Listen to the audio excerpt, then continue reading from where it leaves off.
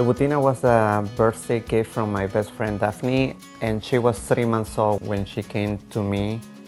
Loubie's personality is uh, more than anything very loving. Can be sometimes a little sassy, she can be a little diva. I truly believe that Loubie's favorite activity is to meet people. Every time we go for a walk, I can see that she's very eager. She was not trained to hug. It's up to her and she does it very often. It's uh, very organic.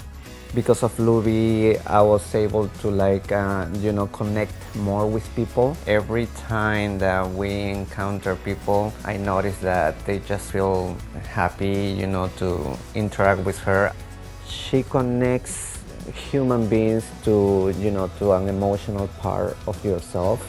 You know she makes you feel alive. Why not sharing Loubie with you know the world? There's so much negativity right now and the fact that you know we're bringing a cute moment it makes a difference right now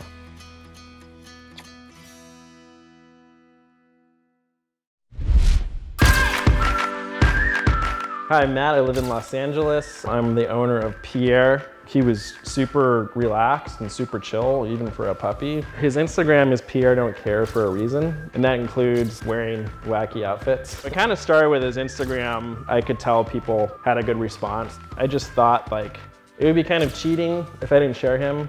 He loves people, just interacting with people. He'd rather do that than go on a walk around the neighborhood. So I looked into a therapy dog program and Pierre tested and he passed the certification the first time.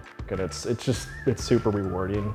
Taking the focus off of yourself and, and seeing like the benefits that he has for other people. For people to see Pierre come trotting over, it completely takes them out of their situation. They definitely tell you, this is the greatest thing that's happened to me today. This is like, this is all I needed. Thank you so much for doing this. It kind of gave me like a new purpose. He's changed my life so much.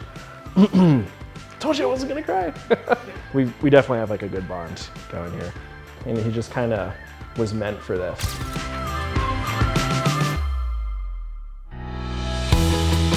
When I first met Todd, he just walked right up to me and was loving on me, wagging his tail. I knew that he knew I was his human and he was my puppy. Todd makes my daily life better because of his personality, his love for me, and the way that he makes me feel. The day of the rattlesnake bite, I noticed something in the road. Todd instantly bolted by my leg. I jerked back and the snake struck him right here on the side of his face.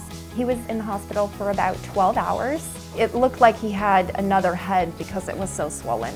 I was sad and I posted a picture of Todd. I just said, say a little prayer for my puppy. And in the morning, I had 900 messages it was overwhelming, but it was a good overwhelming feeling that so many people looked at Todd's story, just touched by how animals can connect people.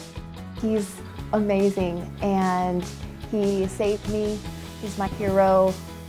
And if that doesn't make the world more positive, what does, you know?